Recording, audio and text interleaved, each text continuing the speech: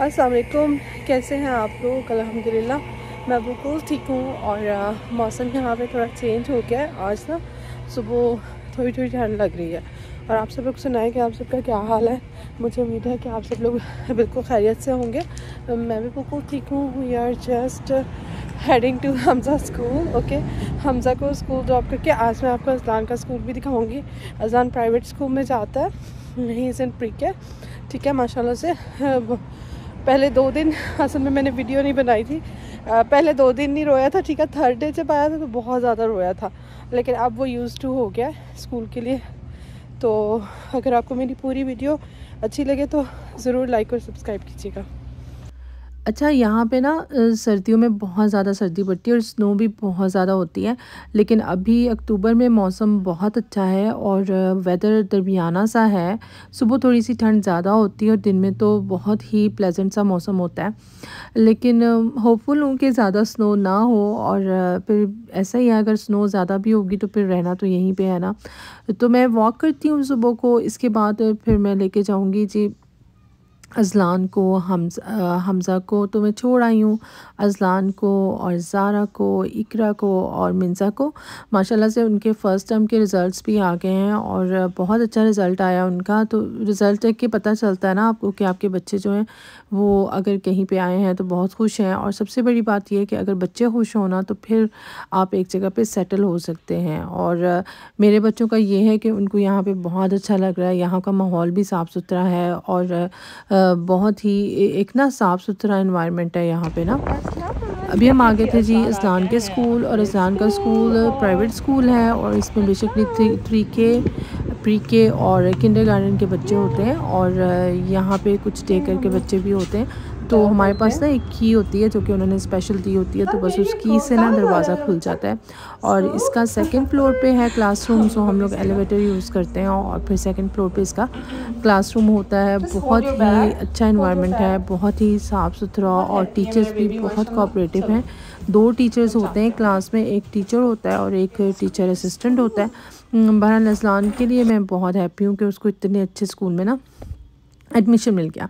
तो घर में आके जी कपड़े ड्राई हो गए थे, रात को मैं निकालना भूल गई थी तो अब जी बच्चे तो चले गए हैं स्कूल और मामा जी का काम शुरू हो गया और वो काम किया जी, अब ये कपड़े मैंने ना सारे कपड़े मैं तह लगाऊँगी और फिर उसके बाद घर की सफ़ाई करूँगी, फिर खाना बनाऊँगी। तो अब रूटीन इसी तरह होती है कि बच्चे जब स्कूल चले जाते हैं तो जितने से मतलब जो भी मेरा काम है ना, जितना मैं ख़त्म कर सकूँ वो बहुत बेहतर होता है। और कपड़े ये है कि हम जब ड्राई करते हैं ना तो अगर फ़ौरन से तह लगा लिया जाए तो फिर उसमें ना सलवटें नहीं पड़ती। तो इस वजह से हम लोग अमेरिका में ना इस्त्री का इस्तेमाल नहीं करते, क्योंकि ड्रायर से जो ही कपड़े ड्रायर हो जाते हैं तो उनको तह लगा दो और बिल्कुल ना सलवटें नहीं पड़ती कपड़ों में। ये जी मेरा रूम है और टीवी मैंने रखा हुआ है अपने रूम में ना, ये मेरा बड़ा था कि अच्छा मेरा बेडरूम हो तो उसमें टीवी ज़रूर हो।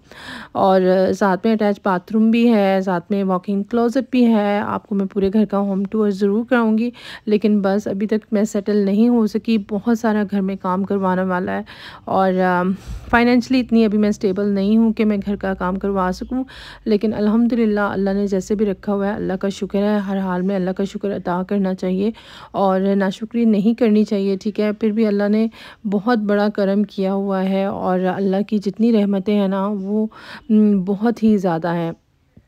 और इसके बाद मैंने क्या किया? जी, मैंने पराठे बनाए, अंडे बनाए और ये बच्चों के लिए जल्दी से मैंने बना के रखे हुए थे, क्योंकि मैं थोड़ा ना खाना बनाने में आज लेट हो गई थी और मैंने डीप फ्रॉस्ट करके चिकन रखा हुआ था, लेकिन मेरा यही दिल कर रहा था कि मैं ना पुलाव बना लूँ, ठीक है? ये बच्चों के लिए फ़ौरन से मैंने बनाया और पेंट्री मैंने सेट सेट कर ली थी अच्छा पेंट्री में बहुत मेस बना हुआ था तो मैंने सोचा कि ये भी ठीक कर लेते हैं, ठीक है? ये भी अजीब सा लगता है ना, जब बंदा पेंट्री की साइड पर एक अजीब सी ना कोफ सी होती है, जब आपकी कोई भी चीज़ ना मतलब आपके घर में अगर कोई मेस बना हो तो बहुत अजीब सा लगता है स्पेशली मुझे तो बहुत लगता है, जब तक वो ठीक नहीं होता, उस टाइम तक मुझे सुकून नहीं आता।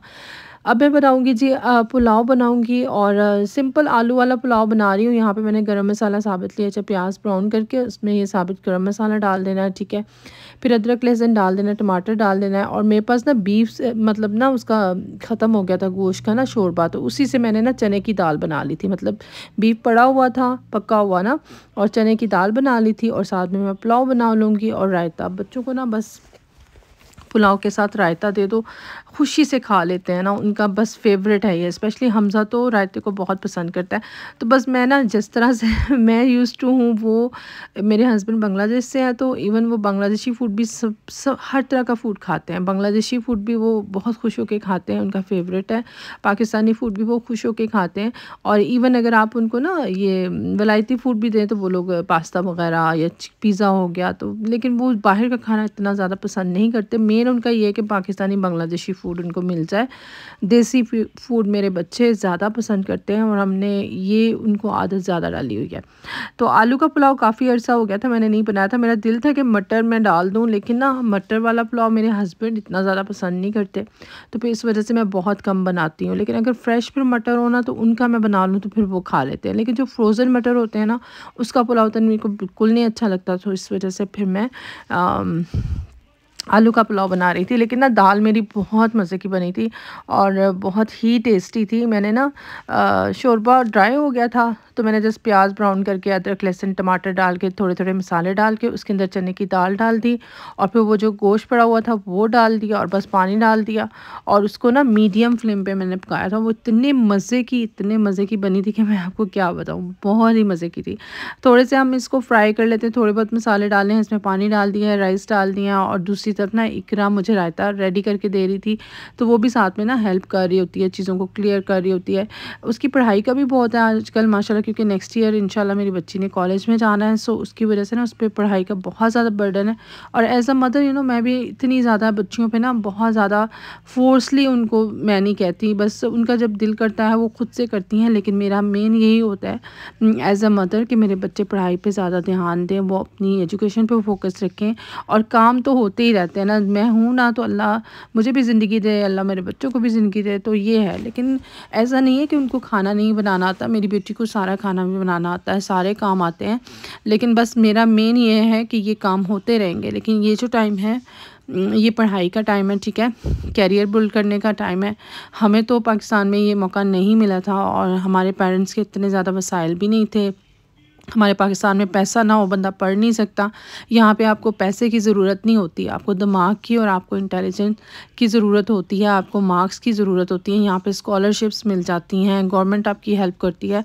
सो पैसा फैक्टर नहीं है, लेकिन यहाँ पे मेन है कि आपने अपने बच्चों को डेली स्कूल भेजना है, आपने अपने बच्चों की पढ़ाई पर तोज्जो देनी है, उन पर कॉन्सनट्रेट करना है और फिर इन से अल्लाह आके जो भी करेंगे, बेहतर ही करेंगे। ठीक है, पापड़ में लेके आई हुई थी, इकरा के मोस्ट फेवरेट हैं।